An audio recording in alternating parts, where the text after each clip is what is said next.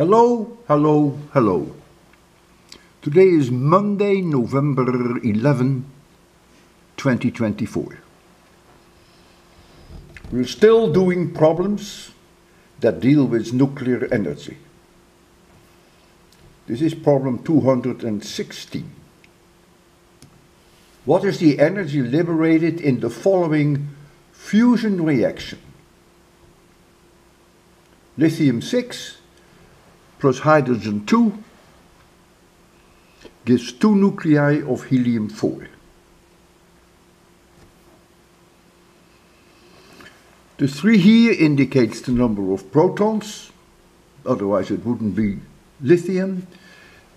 The 1 here indicates the number of protons, otherwise it wouldn't be hydrogen. And the 2 here indicates the number of protons in helium, otherwise it wouldn't be helium.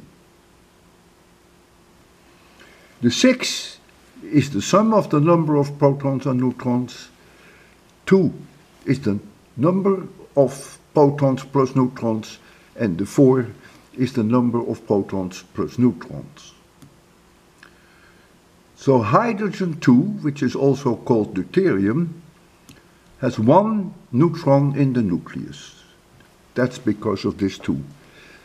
It always has one proton in the nucleus, otherwise it wouldn't be hydrogen. So this is, again, a classic example of the change of binding energy.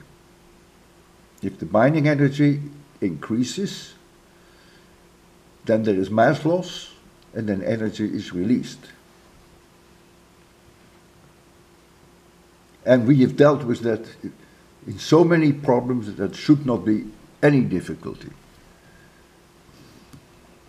Compare this with energy liberated in the process of fission of U-35. I think all our three previous problems dealt with the fission of uranium-235, so that should be a piece of cake. This is an interesting question, the third one. Can the following reaction take place? If yes or no, Give the reasons for your answer. So beryllium has four protons in the nucleus, otherwise it wouldn't be beryllium. And helium must have two protons in the nucleus, otherwise it wouldn't be helium.